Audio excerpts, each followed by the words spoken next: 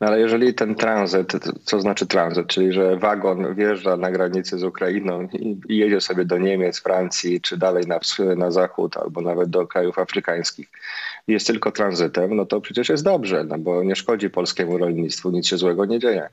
Natomiast jeżeli ten tranzyt, który sobie jedzie przez Polskę, nagle się zatrzymuje, ktoś na tym zarabia pieniądze, jeszcze jakieś dziwne zboże wjeżdża do Polski, nie wiem czy to techniczne, czy to jest po prostu gorszej jakości, że nie można nawet chleba upiec porządnie, no to znaczy, że coś w naszym kraju nie działa.